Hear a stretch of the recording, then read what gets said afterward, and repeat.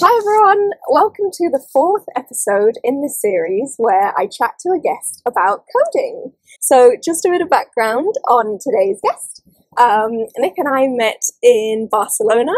Uh, we studied together and we also worked together on the FC Barcelona thesis. Um, Nick, would you like to briefly introduce yourself? Hello, I'm Nicholas. I'm originally from Berlin, Germany. I'm now living in Malaga and kind of a mix of software developer and data scientist, I would say. Um, okay, so let's start from the beginning. How did you discover coding? How did you start learning how to code? I wouldn't even say I really discovered coding. I basically was very much interested in doing something in the area of sports. So I originally wanted to do something like sports management, but then realized you know, sports analytics would be something really cool to study. I basically came from the stats point of view. I, I, I studied economics, didn't enjoy it that much, but the stats classes I did enjoy. And then trying to combine that with, with sports, I found sports analytics, then found data science, and through data science, I learned how to code. Nice. So, why do you like coding? What's most fun to you about coding? I would say, in general, it's just very rewarding. It's it's quite difficult, but it also like very often you just don't even realize that you're spending hours on something just because it is actually really enjoyable. It is quite tough to learn, but when you when you get past that point, like I said, it's just um, it's just really rewarding.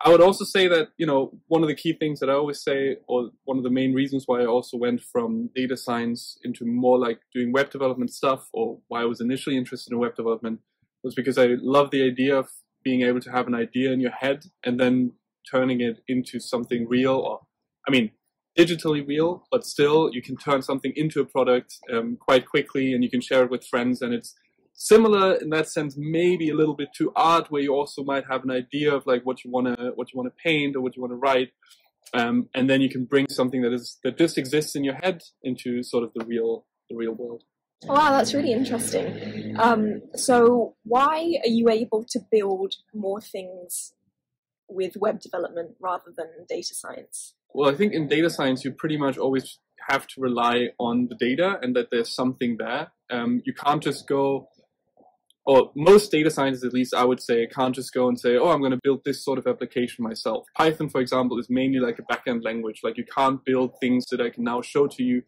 um, and have like full control over how that is in the browser. There are obviously some solutions where you can do that, but it's not really the right language to, to build um, products or to build websites or anything like that.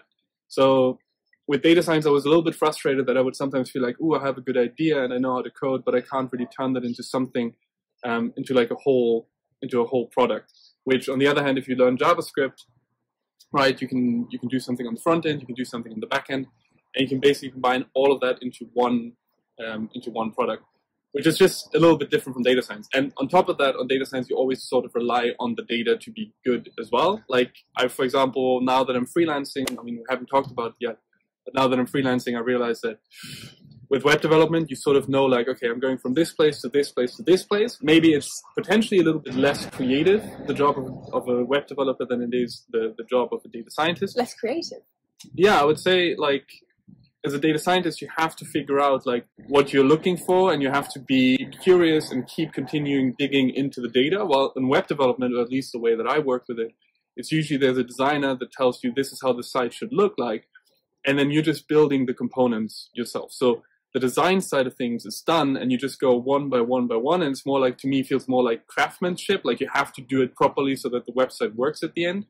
But it's less of a creative process. It's more like problem solving um, while data science, on the other hand, is also problem solving, but you have to, you don't know where you're going with it. And for some reason, I like the web development part of it at the moment a bit more. Nice.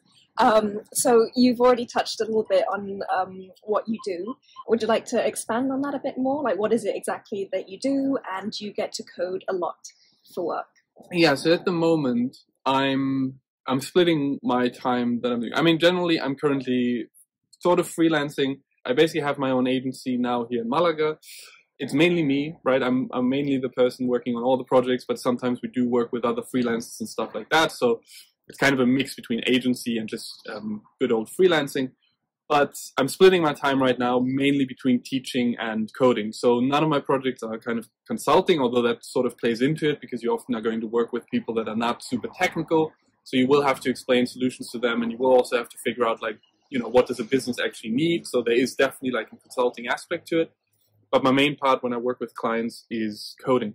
On the other hand, I also teach, right? So that's, I would say at the moment or the last few months was basically a 50-50 split I usually try to code more than I teach because I always feel that if you work on real world problems or real world projects, it's way easier to go back into the classroom and teach people. While on the other hand, if you only teach, it's very hard to um, it's very hard to show real world examples. Even if you show, even if you teach basic things, it, it always helps if you're like, oh look, I actually coded something up here, and then the students can see in like a real world project how even like the small bits that we're teaching would go into like a bigger into a bigger project. That's really cool. Um, so you must be giving your students a lot of tips and advice regularly.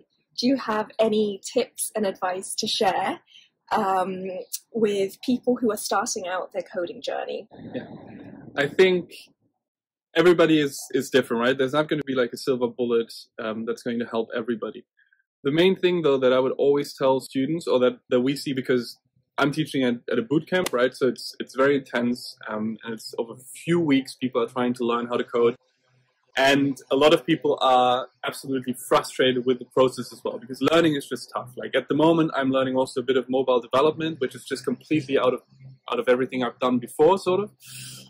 And it's just difficult, and it also puts it, it makes me realize how difficult the learning process is again, right? Because now when you're like more advanced, you it's it doesn't feel necessarily the same uh, the same difficulty level. So I would just say for everybody, you know, it, it for everybody it feels this way. Like if you start out with it and you're actually really interested in coding, stick with it.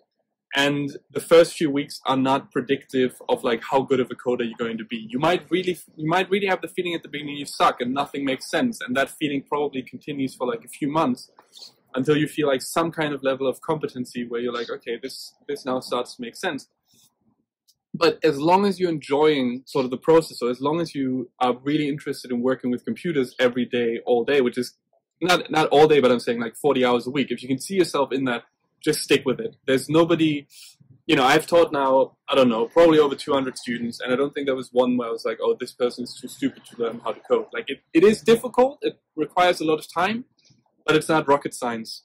Um, in that sense, you can you can all learn it. I would say, you just have to stick with it, and that's I think the toughest bit at the beginning. I agree. Um, and bonus question, actually. So you're a freelancer, and for the more advanced coders out there, um, do you have any advice for people wanting to go into freelancing? So maybe they've worked at a company for a while, but now they want to set up their own agency or they want to be able to just code on different contracts for different clients. How would you get started um, freelancing with coding? Yeah, that's, I mean, it's a really good question. The problem is that I always feel like it's kind of dangerous to answer these things because for me, when I talk about it, it sounds kind of easy, but just because I do really think that I was really lucky with it. Like I was at the time in a working situation where I wasn't really happy, so it was kind of for me that I wanted to just do something new. And I always wanted to do freelancing, but I didn't have any clients at the time. So I pretty much just quit and said, okay, now I'm a freelancer, which already helps, you know, quite a lot. Like I would say if you're if you are a more advanced or more experienced um, developer or data scientist, right, you have a very specific or very strongly specialized skill, which not a lot of people have. So even if you have like a network of, I don't know, 200, 300 people on LinkedIn, right? And then you go and, and like those people, or for me, for, for example, was mostly like closer friends that needed somebody because you do again have a very specialized skill that a lot of people around you might need, which means that my experience is there are people around you that need websites to be built, for example, or that need to have automated processes in their in their companies. So it already helps to say, or at least it, it, helped me to say, hey, I'm a freelancer now. And suddenly people around me were like, oh, here's maybe something for you, here's something for you, because they won't know a lot of freelance developers, right? Having said that, I'm not suggesting anybody to, you know, who's kind of toying around with the idea of going freelance to just do it because just because it worked for me doesn't mean that it works for everybody else because it was just in that moment happened to be that I was lucky enough that I had people around me that needed, you know, websites done and stuff like that. So I would say I, I got really lucky. So I feel a bit. Um, I'm very cautious about giving advice on that because just because it worked out for me the right way or in a good way doesn't mean that it would work the same way. Because my approach was basically just okay, I quit and then I see, uh, then I see what happens. I would say, however, if you're in a situation that is, you know, where you're just unhappy, it's it might still be the right choice, right? Even if freelancing wouldn't have worked out for me, I would have still made, you know, very good experiences um, with it, right? And I would have needed, I would have had the time to learn more and to, to do more, right? I was even planning like, okay, I have now enough money in the bank for doing this for six months. If I don't get any clients, at least I have six months of just concentrated learning and then I just find a job afterwards, right? So if you have a plan and you feel like the current situation is not working, you know, maybe learning how to code or learning or just trying to go freelance might be an option. But otherwise, I don't want to be the person that tells people just go freelance without any clients and stuff because I think that can also be a recipe for disaster. Yeah, I think yeah, it depends on the person and um, the environment they're in, or maybe the job market and stuff, and potential clients. Um, so yeah, thank you so much, Nick, for your time today Thank and you. All your valuable insights. Um, this is really interesting. So thank you for sharing that with everyone. Thank you.